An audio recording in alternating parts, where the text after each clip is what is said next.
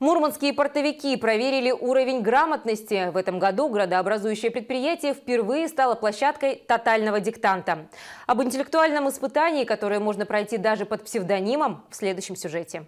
Всемирная образовательная акция «Тотальный диктант» в столице Заполярья состоялась в шестой раз. Каждый год в проекте принимают участие и портовики. Причем число желающих проверить свой уровень знаний только растет. В связи с этим руководство Мурманского морского торгового порта совместно с техническим университетом приняли решение создать отдельную площадку на территории предприятия. Алексей Сотников пишет диктант уже во второй раз. В прошлом году он допустил пару ошибок, но сейчас надеется стать отличником. Это очень интересное мероприятие. Вообще спасибо разработчикам, что придумали придумали вообще такую интересную историю, потому что всегда приятно и показывать своим собственным примером, чего ты помнишь, чего ты достиг, как ты усвоил школьную программу.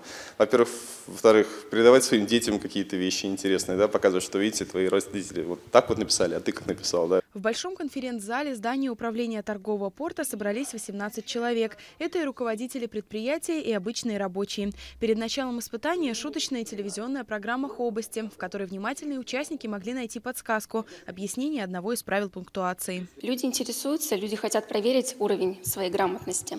Вот, и а, для нас, как для градообразующего предприятия, участие а, в таких акциях а, и э, взаимодействие с образовательными учреждениями – это неотъемлемая часть нашей социальной программы. Человека, который читает текст, в шутку принято называть диктатором. Эта ответственная должность на площадке порта досталась директору 8-й подшефной гимназии. Ольга Дзюба трижды отличница диктанта. Говорит, что текст под названием «Ловец душ» очень интересный. Посвящен театральной постановке пьесы Максима Горького «На дне». Автор – прозаик и литературовед Павел Басинский. Мне кажется, что люди, которые э, знают русский язык, знают правила орфографии, пунктуации, э, справятся без труда с этим текстом.